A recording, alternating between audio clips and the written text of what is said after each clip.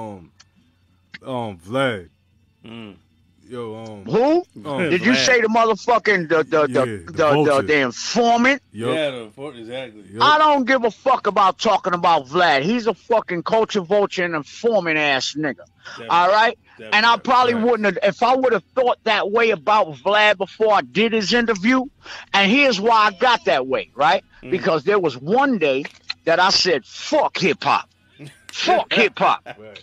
right? Yeah. And Vlad and and his people put up some clickbait that said MC Shan said fuck hip hop.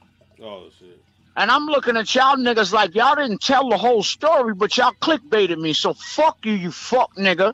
And you getting all these niggas on your show getting indicted because they want to be so glad to tell their hood stories and shit. Mm.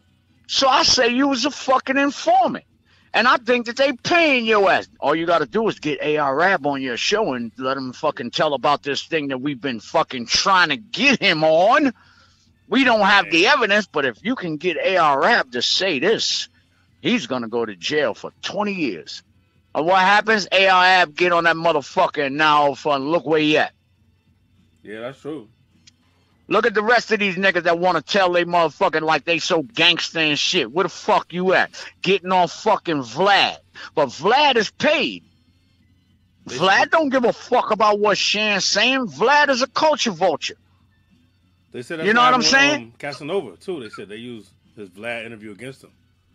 Well, too bad. You dumb motherfuckers. Stop wanting to impress fucking Vlad. But you understand where it is from a white motherfucker. And Vlad is that white motherfucker. Excuse me for saying it that way. But Vlad is that white motherfucker that y'all use to give validity to your motherfucking hip hop career. You, Mm. like I said, black people don't want validity from their own.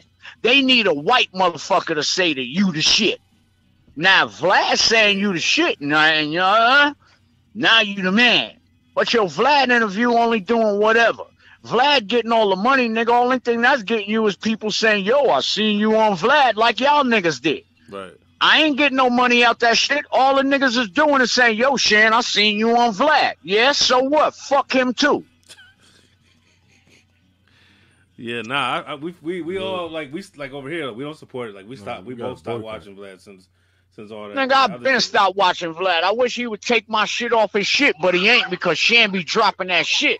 Mm. Shan, well, see, Shan told, told, uh, man, I ain't even going into it. Fuck bringing light to his fucking click clickbait shit.